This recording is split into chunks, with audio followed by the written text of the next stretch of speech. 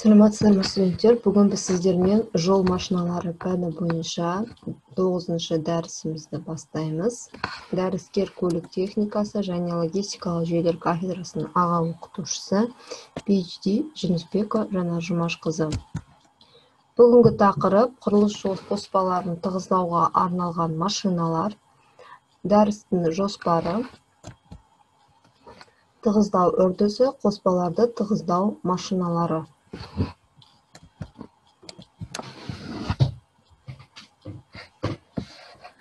Пәннің бүгінгі дәрістің мақсаты жол құрылыс қоспаларын тығыздауға арналған машиналар аунақтардың құрылысымен танысу.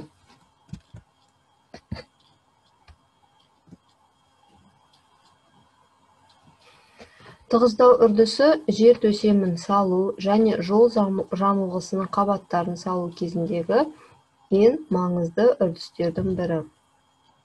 Тығыздау бұл жол жабындарының құрылысындағы үрдісінің соңғы кезеңі. Тығыздау дәрежесі автомобиль жол жабындарының пайдалану сипаттамаларын оның ішінде тегістігін су өткізбеушілігін тозуға төзімділігін және атмосфералық әсерлерге тиімділігін анықтайды.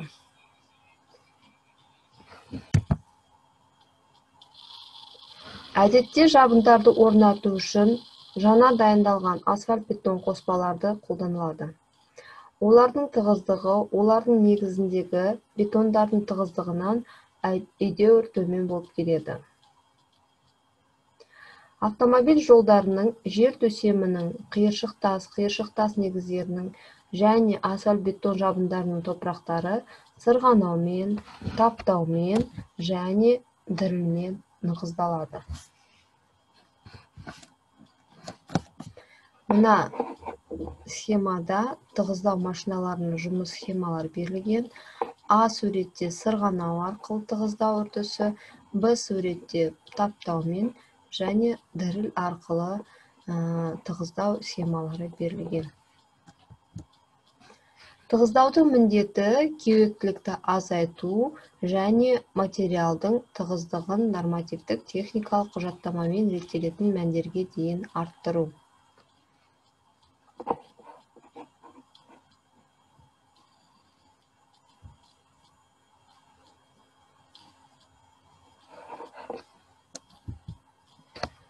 Қоспаны тығыздау мәселесі әдетте жан жақты шешіледі.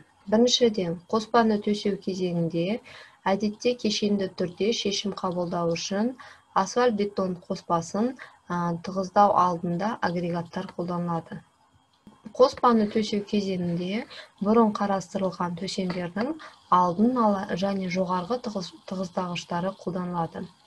Екіншіден тығыздау сатысында жеңілден бастап орташа және ауыр аунақтарға дейін асфальт аунақтарының жиынтығы қолданылады. Құрылығымен бөлшектердің мөлшерімен және агрегаттардың фракциялық құрамымен компоненттердің құрамы мен арақатынасымен ерекшеленетін қоспалар үшін асфальт аунақтарының кең таңдауы бар. Асфальт бетон жабындарына қойылатын негізгі талаптардың бірі олардың тегістігі. Яғни тегістігі болғандықтан қоспаларды тығыздау үшін тек тегіс металл және пневматикалық біліктері бар аунақтар қолданылады.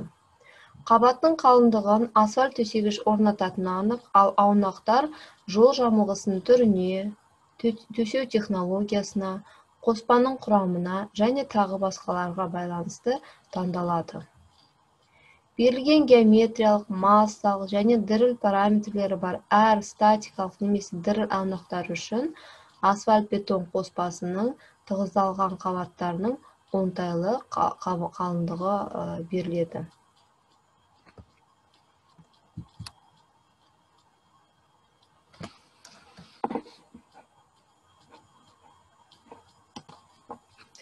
Асфальт аунақтары келесі негізгі белгілерімен ерекшеленеді. Біріншісі статикалық сызықтық жүктеменің шамасы бойынша жеңіл орташа және ауыр аунақтар болып бөлінеді. Көтергіш конструкциясының типі бойынша олар моноблокты және топсалы мүшеленген немесе топсалы буынды рамамен болып бөлінеді. Тығыздалған бетке әсер ету тәсілі бойынша статикалық және дірілді аунақтар деп бөлінеді.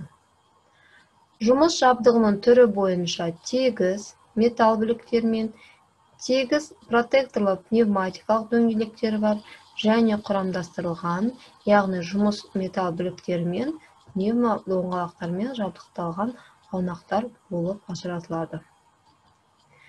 Дірілдеткіш тербелістерінің типі бойынша айналмалы бағытталмаған және бағытталған.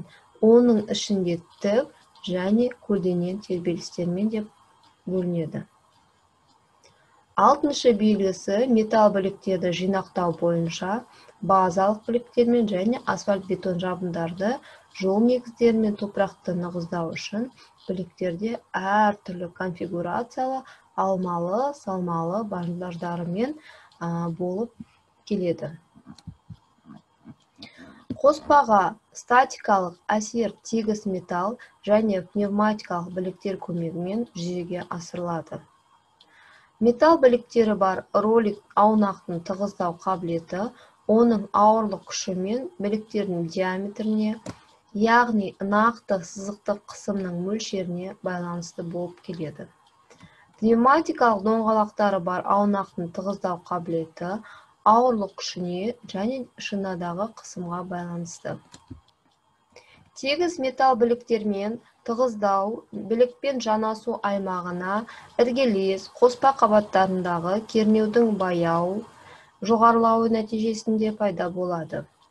Тығыздағыштың тиімділігі мен тығыздалған қабаттың қалыңдығына сызықтық қысымның мөлшері байланыстырғыштың тұтқырлығы және толтырғыштың концентрациясы әсер етеді. Бұл жағдайда тығыздау жолағының шекарасында қатты білікпен тығыздалған және тығыздалған тығыздалмаған қоспаларда кернеудің күрт төмендеуі байқалуы мүмкін. Бұл өз кезегінде кейін жарықтардың пайда болуына әкеледі. Сонымен қатар мұндай біліктің алдында қозғалыс кезінде құрылымы бұзылған деформацияланған қоспаның толқыны пайда болады. Қоспаның серпімді пневматикалық аунақтармен тығыздалуы біліктің ауырлық күшінің статикалық әсерінің үйлесуіне және пневматикалық шиналардың серпімді деформациясына байланысты. Бұл қоспадан ауаны біліктің қозғалу бағытына сығу арқылы тығыздаудың ығысу әсерін тудырады. Сонымен қатар шинаның деформациясы тағы бір оң нәтиже береді. Яғни бұл шекарадағы кернеулердің біркелкі өзгеруіне және қоспаның тығыздау аймағының кеңеюіне байланысты тығыздау жолағының шекарасында аталған жарықтарды жояды. Пневматикалық аунақтардың қатар заманауи модельдері шиналардағы қысымды реттеудің орталықтандырылған жүйесімен жабдықталған. Бұл тығыздау аймағының ауданын басқаруға мүмкіндік береді. Алайда пневматикалық аунақтардың серпінді деформациясы жабындардың тегіс бетін алуды қиындатады. Сондықтан оларды аяқтау үшін тек тегіс біліктер қолданылады. Діріл аунақтардың тығыздау әсері асфальтты бетон қоспасына статикалық және динамикалық жүктемелердің үйлесуіне байланысты. Біліктің дірілдеуі қоспадағы ішкі үйкелісті едеуір төмендетеді бұл оның жақсы тығыздалуына ықпал етеді. Бұл көбінесе тұтқыр құрамды шектеулі қатты қоспалар үшін байқалады.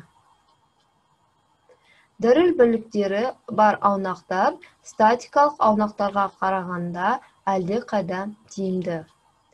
Тығыздау әсерінен салмағы бір бүтін оннан бес сегіз тонна аралығындағы болатын діріл аунақтары 10-15 тонна статикалық аунақтарға тең болып келеді. Қазіргі заманғы жол аунақтарының діріл аунақтарының артықшылығы біліктердің діріл элементтерінің тербелістерінің жиілік амплитудалық сипаттамаларын басқару арқылы олардың тығыздау әсерін реттеу мүмкіндігі болып табылады. Біліктердің конструкциялары кең диапазондағы тербеліс амплитудасының сатысыз немесе сатылы өзгеруін сондай ақ шеңбер яғни бағытталмаған және бағытталған оның ішінде реверсивті тербелістерді іске асыруды қамтамасыз етеді. Бұл тығыздау сатысына және қабаттың қалыңдығына қоспаның құрамы мен температурасына байланысты діріл әсерінің оңтайлы параметрлерін таңдауға мүмкіндік береді.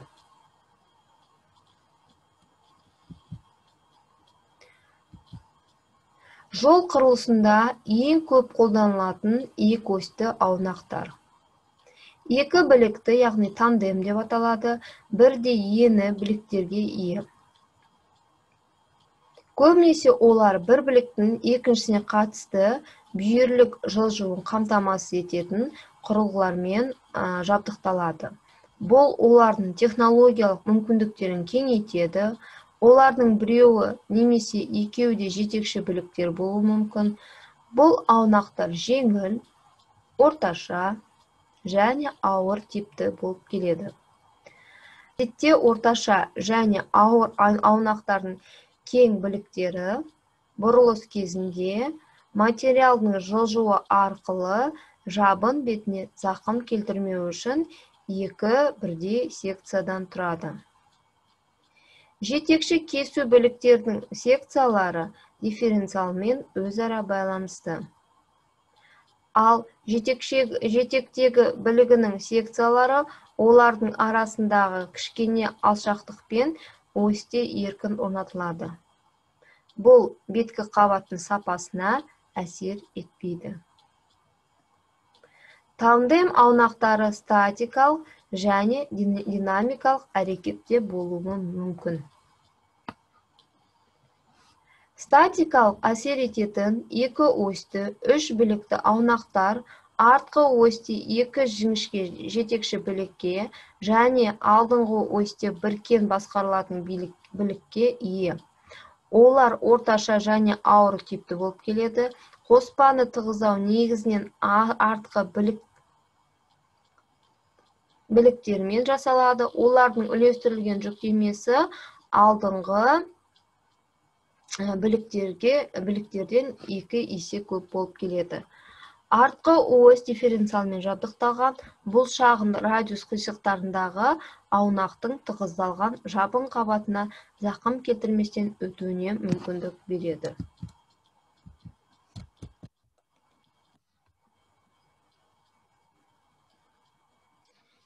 Мына слайдта ду алпыс үште бір тандемді аунағы бейнеленген.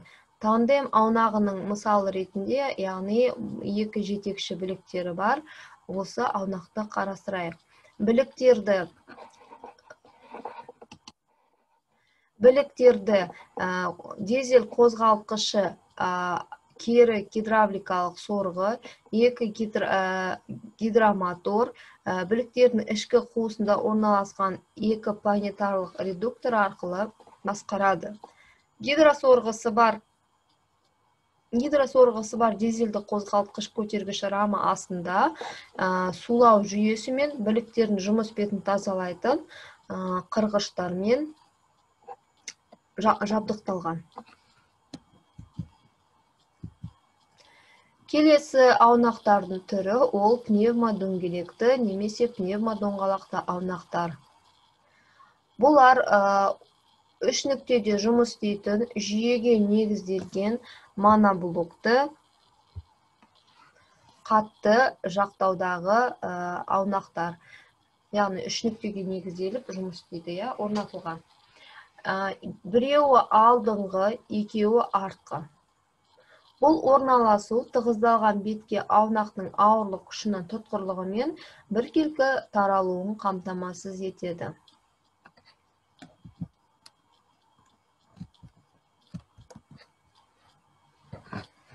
Артқы осьтің жетекші пневматикалық доңғалақтары бөлінбейтін мостыға орналастырылады. Ал басқарылатын алдыңғы пневматикалық доңғалақтар бір нүктеде рамаға бекітілуіне байланысты көлденең жазықтықта тербеледі.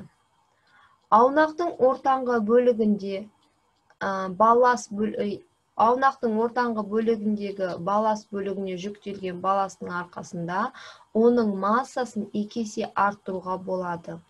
Алдыңғы және артқы пневматикалық доңғалақтардың саны әр түрлі болуы керек. Сондықтан олар бір бірінің тығыздау аймақтарын жабады. Мысал ретінде ду, жүз пневматикалық доңғалақты аунағын қарастырайық. Ол пневматикалық доңғалақтармен яғни екі айналмалы доңғалақты біліктерімен яғни доңғалақтармен жабдықталған. Аунақтың аунақтың жүк көтергіш жақтауы яғни мына жүк көтергіш рамасы қуат қондырғысынан беріліс және басқару жүйесінен тұрады. Яғни осы элементтері орнатылады. Ретінде рамада бірліктерді орнатуға және біркуге қызмет ететін екі тірек бар. Ол тіректер үшінші және сегізінші позицияда көрсетілген. Электр қондырғысы дизельді қозғалтқыштан ілінісу корпусы бар беріліс қорабынан және екі гидравликалық сорғылардан тұратын модульді құрайды. Аунақтың гидравликалық жүйесі жетек пен рульдік жетектің гидравликалық тізбектерінен тұрады. Әрбір доңғалақ оның бетін тазартатын арнайы қырғыштармен жабдықталған.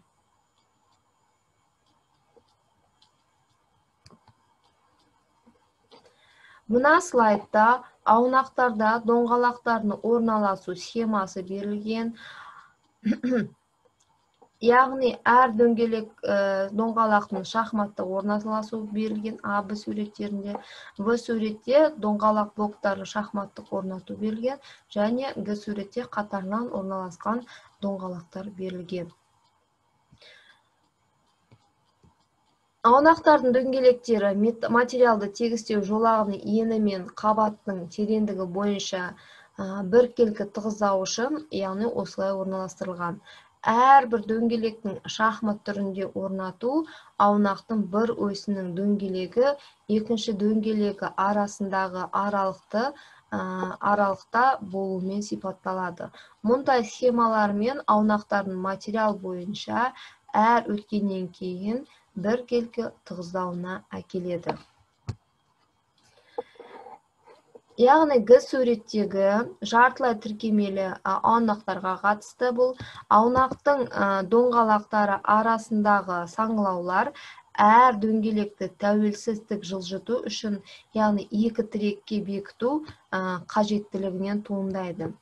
Доңғалақтар арасында яғни доңғалақтардың арасындағы қашықтық шина енінің жартысынан аспайды.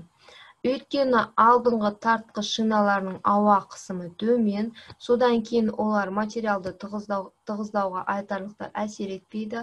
Аралықтардың шамасы дөңгелектер арасында тығыздалған материал бетінің тегістігіне әсер етеді. Сондықтан суретте көрсетілген доңғалақтардың орналасуы жолдардың төменгі қабаттары мен негіздеріне арналған аунақтар үшін қолданылады. Шинаның элементі яғни пневмодоңғалақты аунақтардың шинасының элементі камерадағы ауа қысымынан жүктемені және аунақтың массасынан жүктемені қабылдайтын яғни покрышка болып табылады. Покрышка протектордан брекерден және корпустан яғни қаңқадан тұрады. Яғни олар бүйірлерден және борттардан тұрады сонымен қатар. Жақтауға яғни корд деп аталатын резеңкеленген матаның бірнеше қабаты кіреді. Сым табиғи жасанды немесе синтетикалық материалдан жасалады. Кейде сым жұқа сымдардан жасалған металл жіптер болып келеді. Корд қабаттары шинаның бүйірлеріне бекітілген борт доңғалақтың жиегіне бекітуге арналған шинаның элементі болып табылады. Келесі аунақтардың түрлері ол аралас аунақтар. Қатты біліктер мен серпінді пневматикалық доңғалақтардың артықшылықтары бір, біріктірілген. Бір осьте қатты немесе кесілген металл білік орнатылады. Ал екінші осьте тегіс протекторы бар пневматикалық доңғалақтар орнатылады. Құрама яғни аралас аунақтардың жүрісті трансмиссиясы бір немесе екі контурдан тұрады.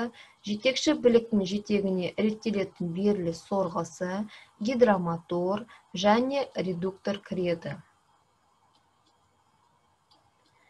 Гидроконтурлардың бірі істен шыққан кезде екіншісі аунақтың қалыпты жұмысын қамтамасыз етеді. Яғни мына слайдта ду алпыс төрт аралас аунағының құрылымдық схемасы берілген. Виброқоздырғыш яғни вибровозбудитель айналмалы тербелістер жасайды және біліктің мойын тірегінде орналасқан яғни дебалансты вибровал болып табылады. Вибровалда екі сатылы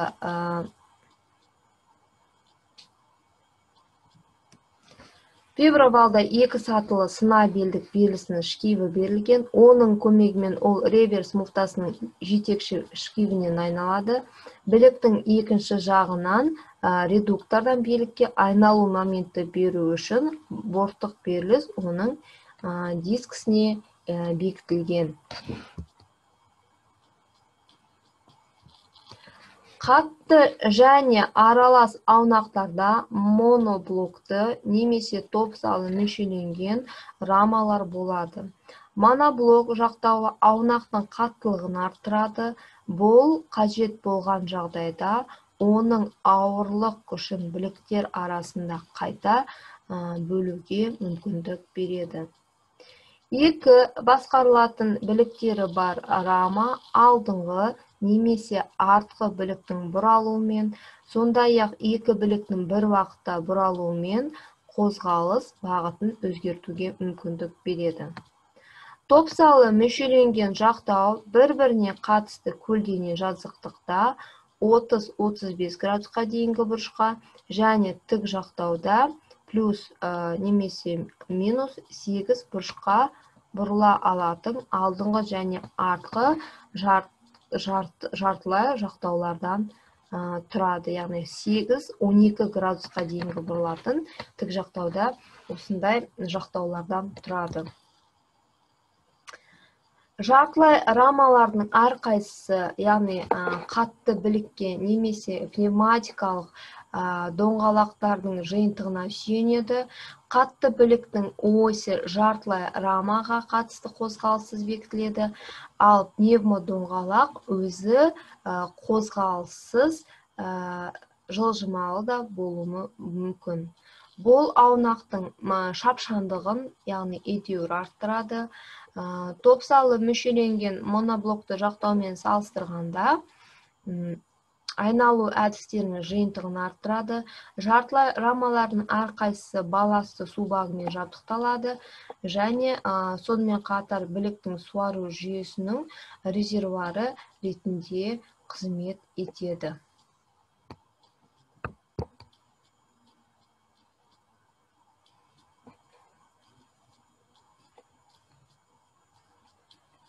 Келесі аунақтар ол дірілді аунақтар болып табылады. Діріл аунақтары діріл аунақтары тығыздаудың жоғарғы дәрежесін қамтамасыз етеді. Өйткені олар статикалық күштің яғни ауырлық күшінің және вибратордың тербелістерімен байланысты мәжбүрлі күштің әсерін біріктіреді. Осы мақсаттар үшін тек қатты металл біліктер қолданылады. Өйткені пневмодоңғалақтар тербелістерді демпферлейтін виброизоляторлар болып табылады. Вибратор ретінде әдетте реттелетін жиілік амплитудалық сипаттамалары бар дебаланс элементтері қолданылады. Діріл аунақтар электр қондырғысын және гидравликалық жетекті дірілден қорғайтын амортизаторлар жүйесімен жабдықталған. Діріл әсерін қолданудың мысалы ретінде яғни мына слайдта берілген ду 98 жол аунағы көрсетілген. Бұл аунақтар бұл ду 98 аунағы яғни екі тегіс металл тегіс және діріл біліктермен жабдықтаған олар айналмалы және жетекті яғни ішкі олардың ішкі қуыстарына кіріктірілген діріл қозғағыштары бар яғни айналмалы жетекті болып табылады. Аунақтың аунақтың моноблокты рамасы яғни жақтауы бар. Оған қуат қондырғысы беріліс қорабы басқару жүйесі бар яғни мынау кабина орнатылған. Электр қондырғысы яғни дизельдік қозғалтқыштан ілінісу корпусы бар беріліс қорабынан және айналмалы гидравликалық қозғалыштарға қозғалтқыштарға және діріл қоздырғыштарына айнала, айналатын реттелетін реверсивті гидравликалық сорғылардан тұратын блок модульді құрайды. Трансмиссияның гидравликалық жетегі аунақтың қозғалу жылдамдығын біртіндеп өзгертуге мүмкіндік береді. Вибраторлардың гидрожетегі тербелістің айналу бағытын және мәжбүрлі күш мөлшерін өзгертуді қамтамасыз етеді. Сонымен қатар аунақ артқы білікті қажетті бұрышқа жылжытуға мүмкіндік беретін құрылғымен жабдықталған бұл аунақтың технологиялық мүмкіндіктерін оның үлкен шапшаңдығына қол жеткізу жиектің тиімді жұмысын қамтамасыз ету арқылы кеңейтеді.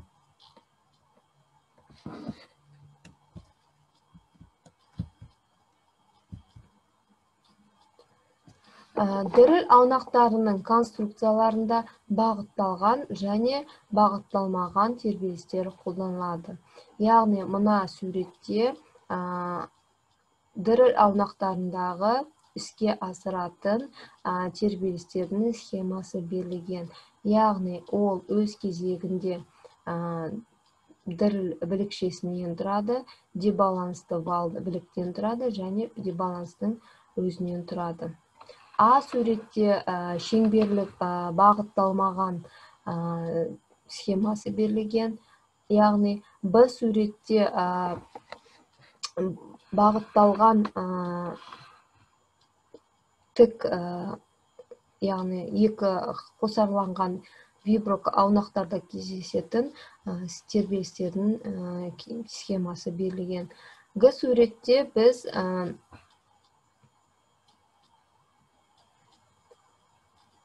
в суретте бағытталған тік дебалансты тербелістердің дірілді аунақтардың тербелістерін іске асыру схемасы берілген және г суретте бағытталған көлденең екі дебалансты біліктері бар білікшелердің тербелістерінің схемалары көрсетілген. Тығыздаудың қарапайым әдісі яғни бағытталмаған доңғалақ тербелістерді қолдану олардың діріл білігінің осіне сәйкес орнатылатын дебаланстары бар бір біліктің көмегімен жүзеге асыруға болады. Дөңгелек тербелістер баланстан білік арқылы тығыздалған яғни материалға өтеді. Бір баланстан тыс білік білігінің әдетте діріл қоздырғышының білігінің бір немесе екі тұрақты айналу жиілігі сондай ақ мәжбүрлі күштің бір немесе екі мәні бар. Яғни соңғы жағдайда мысалы жылжымалы дебаланс құрылымын қолдануға болады.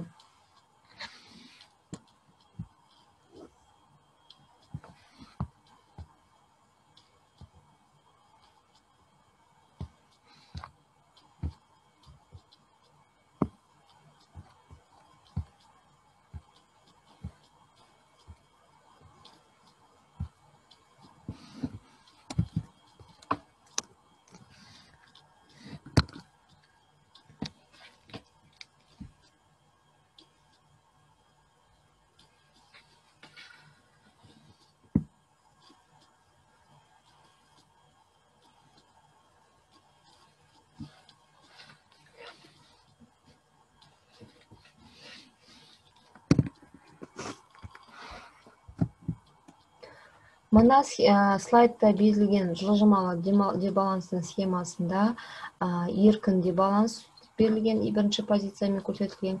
Екінші позициямен бекітілген дебаланс және үшіншінде ограничитель яғни ограничитель яғни шектеулер қойылған.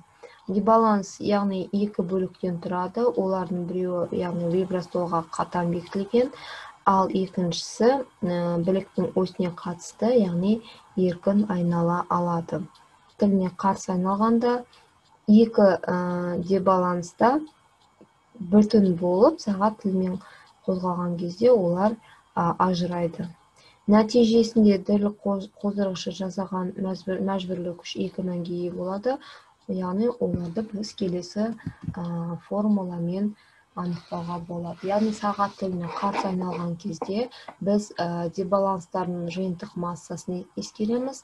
Ә, баланстар ә, массасының ауырлық центрінің айналу радиусы және ә, біліктің бұрыштық айналу жылдамдығы ескеріледі. Сағат тілмен айналу үшін біз әрбір ә, дебаланстың қозғаушы күшін ескереміз және дебаланс осьтері арасындағы бұрыш ескеріледі.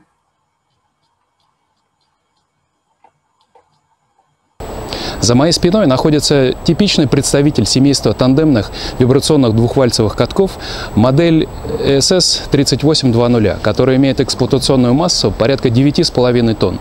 На примере данной машины рассмотрим поподробнее и поближе наши асфальтовые катки. Одним из важнейших параметров любого катка является так называемая статическая линейная нагрузка.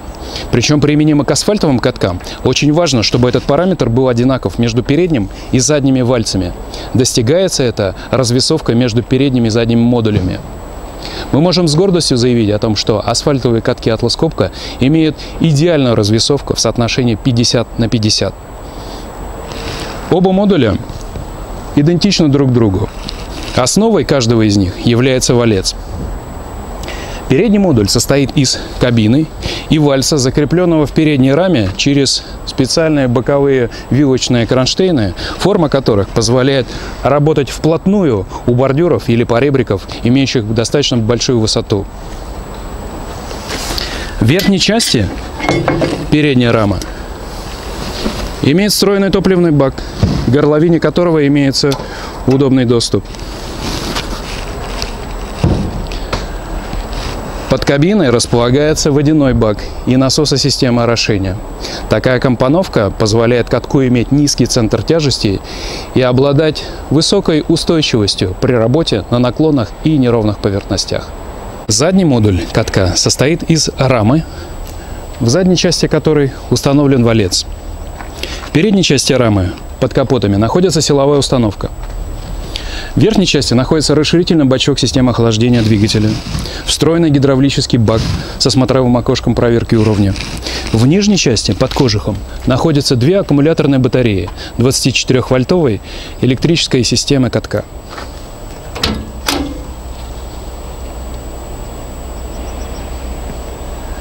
Подкапотное пространство тщательнейшим образом спланировано и организовано. Все основные сервисные точки имеют легкий доступ. Здесь находится двигатель внутреннего сгорания, основной доступ к которому открывается с правой стороны, гидравлические насосы. Чуть в глубине находится единый блок всех гидроклапанов. Основные сервисные точки, такие, например, как а, предварительный топливный фильтр с подкачивающей помпой, фильтр гидравлической системы, воздушный фильтр двигателя, Здесь же находится блок основных силовых предохранителей, размыкатель аккумуляторной батареи. В верхней части задней рамы находится блок радиаторов, охлаждение двигателя, охлаждение гидросистемы и охлаждение наддувного воздуха. Вентиляторы охлаждения для снижения уровня шума имеют температурное управление.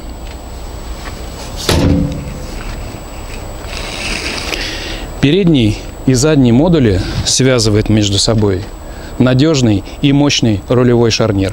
Его конструкция выполнена полностью необслуживаемо. Компоновка катка, когда силовая установка находится в заднем модуле, в удалении от платформы или кабины оператора позволяет снизить тепловое и шумовое воздействие на оператора катка, что позволяет оператору длительно и комфортно работать на машине. Валец является основным уплотняющим инструментом катка. Он изготовлен из специальной стали, которая обладает повышенной устойчивостью к стиранию. Поверхность вальца обрабатывается механически на токарном станке. Каждый валец является одновременно и приводным, и вибрационным. Причем для оптимальной развесовки используется проверенная временем диагональная компоновка гидромоторов привода вибрации и привода передвижения. То есть получается таким образом, что гидромотор привода вибрации переднего вальца находится по диагонали по отношению к заднему и располагается с правой стороны. Для защиты оператора от вредного воздействия вибрации и для защиты остальных механизмов катка валец тщательным образом виброизолируется с обеих сторон при помощи резинометаллических амортизаторов. Для очистки поверхности каждый из вальцев имеет по два очищающих скребка. Для надежной очистки все скребки являются подпружиненными то же время для увеличения ресурса скребков они в одно движение переводятся в транспортное положение. Во избежание налипания асфальта на поверхность вальца, каждый из них имеет по индивидуальной системе орошения под высоким давлением. Система использует трехступенчатую очистку воды и включает в себя водяной бак. И справа по ходу движения насосную станцию, включающую в себя предварительный сетчатый фильтр и два индивидуальных насоса.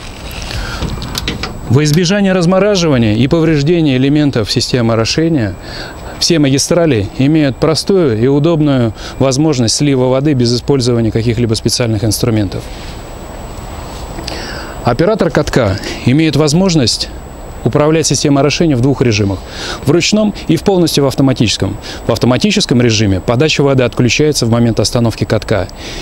И одновременно оператор на пульте управления задает требуемый расход воды. В вибрационной системе катка используется обычная традиционная круговая двухамплитудная вибрация. Причем можно выбрать такой режим, когда вибрирует только задний валец, или только передний, или оба одновременно – Стандартно все катки атлоскопка оснащаются автоматическим режимом управления вибрацией, при котором вибрация автоматически выключается в момент остановки катка и автоматически включается при наборе определенной скорости. Отличительной особенностью катков атлоскопка является наличие режима высокочастотной вибрации, оптимизированные параметры которой позволяют уплотнять тонкие высокощебенистые слои износа, практические данные подтверждают эффективность данного режима. В процессе укатки при смене направления движения катка неизбежно появляется момент, когда каток вынужден остановиться. И в случае длительной остановки это может привести к образованию оттиска на поверхности горячего асфальта, что неизбежно будет являться браком. Для предотвращения данного явления асфальтовые катки атлоскопка обладают инновационной системой плавного старта и замедления. Эта система автоматически производит замедление, остановку и плавное ускорение, независимо от скорости перемещения рычага привода передвижения оператором катка. Пользователи наших машин отмечают высокую эффективность данного режима. Асфальтовые катки Atlas Copco поставляются на российский рынок с комфортабельной асимметричной кабиной. Кабина включает в себя пакет рабочего освещения, сигнально-предупредительный маячок, наружные зеркала заднего вида, стеклоочистители со стеклоомывателями, а также система отопления с очисткой поступающего в кабину воздуха. Кроме того, катки оснащаются комплектом транспортного освещения, указателями поворотов и аварийной сигнализацией. Прежде чем пригласить вас в кабину катка, я бы хотел обратить ваше внимание на одну отличительную особенность нашей кабины. Заключается она в асимметричном выносном элементе. Он выглядит как эркер в архитектуре. Полностью переместив модуль управления в крайнее положение, оператор сохраняет стопроцентный контроль за краем вальца. Мой коллега продемонстрирует возможности перемещения модуля управления в поперечном направлении внутри кабины. Таким образом, оператор сохраняет комфортный стопроцентный контроль за краями вальцев. Комфортабельная кабина имеет встроенный силовой каркас безопасности. совместно с используемыми ремнями безопасности это сохранит оператору катка жизненное пространство внутри кабины на случай опрокидывания. Модуль управления катком включает в себя кресло, которое имеет возможность регулировки в продольном направлении, имеет регулировку угла наклона спинки, снабжено кресельными подлокотниками. Составной частью модуля управления является рулевая колонка, которая имеет возможность регулировки угла наклона.